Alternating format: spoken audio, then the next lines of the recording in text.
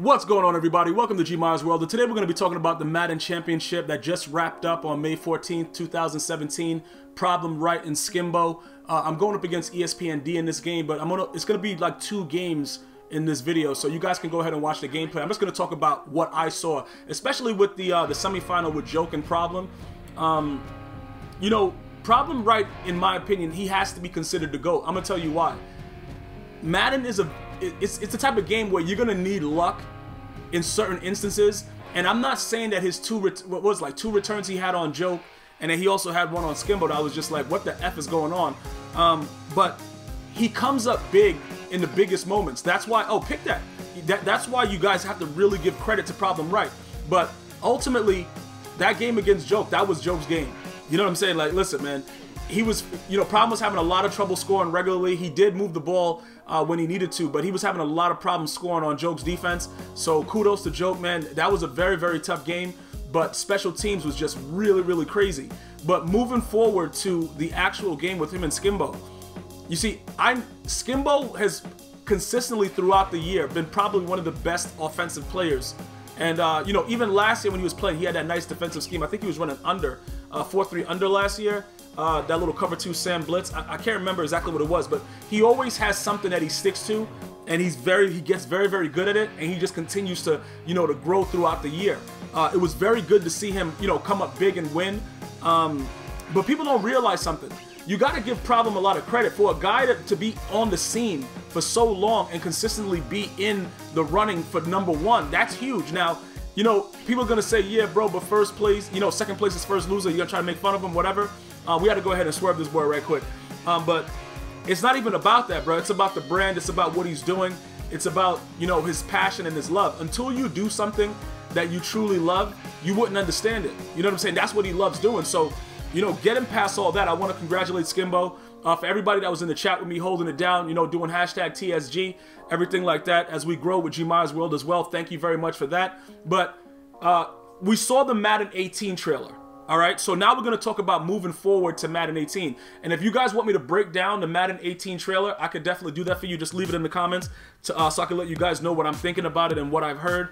Um, obviously, after EA Play, you'll be able to see a little bit more. But, uh, you know, Madden 18, you know, a lot of things in this game, as far as the drop, the drops are huge.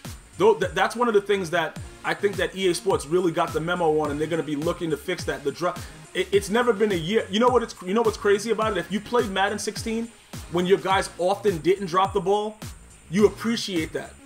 But you don't appreciate the fact that you are able to aggressive catch anyone at any time in Madden 16. So it's like it's kind of a double-edged sword.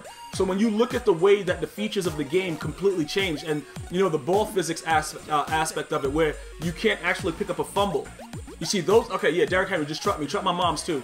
It, it's a situation where you have to understand that Madden 18 being on the Frostbite engine, the Frostbite to me, based on looking at the FIFA, like looking at FIFA, and I, I downloaded the demo and I played FIFA, which is on Frostbite.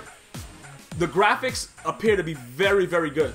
That I, you know, I'm gonna I'm gonna give that to you. The, the graphics are just like they're out of this world. It's it's unbelievable the way that it looks.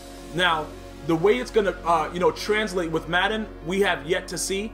I, I am happy though that as far as the Madden uh, developers go, they have been listening and doing a lot of things. You got to remember something. A lot of the stuff that was patched in Madden 17 didn't really need to be patched, but it was developers, uh, you know, listening to people that were, you know, saying a lot of the different things uh, about the gameplay that made certain things start to happen. Because once you patch something, something else, you can't patch the game without something else going crazy. And we all know that. We've been living it for the last two years. So we know that. Um, and I just want to keep on letting you guys understand this. When Madden 16 was released, that game was fine. Okay, that in my opinion, that game was fine. It was nothing wrong with Madden 16. Everything was blockable, even though they had the crazy edge heat and all that stuff. It's when the patches started happening that the game got completely out of control. But let's move forward again, like I was saying, to Madden 18. Looking at all the specs and everything that people are talking about within regards with the game, it doesn't seem like a lot of the animations are going to really be taken out of the game. And like I said, I can break down the trailer for you guys for Madden 18. All you got to do is let me know by leaving it in the comments like, yo, G-Mike, can you, you know, do me a solid right quick and let me know what you think about the trailer and we could get right to that. So it, it, it's it's very, very unique in the in the fact that regardless of what happens with Madden 18, I'm gonna still buy it. Let me just say that right away.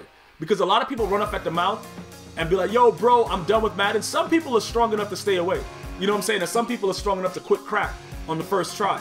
Listen, I don't want to experiment with that. I don't know if I would be able to, but the whole objective of Madden 18 now is to kind of they're gonna focus on a lot of the things that they got feedback from from Madden 17 because you could say what you want to say about the developers and about oh they don't know what they're doing and stuff like that but if you look at the transition right from 16 to 17 you can see that they understood that aggressive catching was out of control which is why they made you know the swap button in some cases uh, you know a little bit more OP but you were able to more or less play a little bit more one-on-one -on -one. if you guys know what I'm talking about if you guys are click on guys you guys know what I'm talking about. You were able to more or less see those drops like that. Those are the things that I don't expect to see a lot of wide open drops, but I do expect traits like they were saying. Um, I was uh, reading an article about it. As far as traits go, traits are going to matter a lot more in Madden 18. And then you got the different play styles and all that stuff like that. So there's a lot of things to look forward to with it. But all in all, the a lot of like you know like the double juke that was in Madden 16, I think that that was fine. You know what I'm saying? Because you have to really have stick and know when to use it, and you could also counter it. But they took it out and they gave you other more generic animations with Madden 17, which kind of you know it kind of uh, it dumbed down the um the run game a little bit, and it also made some people better. You know, some guys had you know massive stick where they could just use a regular stick, bro, and not even use any of the juke animations and, and just juke you out your shoes. So they did add a little bit of what I like to call freeform to Madden 17. So moving forward with 18, you, you guys got to understand something. It's not going to be that much different as far as mechanical because I think where they're headed with it as far as like, you know, like the control, like with the RAC, the aggressive catch, the way that they're trying to design the game to give that more simulation feel, I don't think they're going to go away from that. I do think that they're going to give you a little bit more counter actions to it. I do think that block shedding will remain the same because in my opinion, depending on the mode that you play, block shedding is I didn't really have an issue for the most part with block shedding. I, I, don't know why a lot of people complained about it as much. I know sometimes it just come in automatically, but even in regular NFL games, dudes come in right away. Also, I I haven't really seen it where it was like continuous block shedding, like for all three downs or whatever like that. But you know, I, I see I've seen a lot of complaints about that. I don't really think they're gonna take much away from the block shedding because that's actually something that you could argue is more realistic. It, it's like the timing for the game of when you watch football, how fast a D lineman will get into the backfield. Especially if you're if you're um, you know what I'm saying, like you got four down linemen and you're running a four three. Yeah, go ahead, get stripped. But what I do expect them to try to fix is the dollar, where you got three down linemen, and that was the best run defense in the game, in my opinion.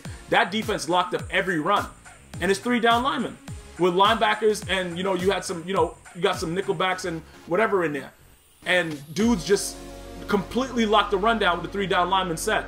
Those things I, I hear that they're going to be working on as far as you know trying to make the run game a little bit more realistic and having the right amount right, the right amount of people there would definitely influence it. But we have yet to see what's going on. EA Play is about a month away or something like that. I, I don't remember what the date was, uh, but we'll get to see some of the stuff and what's happening with it, and um, you know continue to see what to expect. But I will tell you this, I don't think the catch animations are going to go anywhere. I just think that they're going to tone down some of the animations and they're going to give more defensive control to the user. That's pretty much what I've been getting from everything that I've been reading.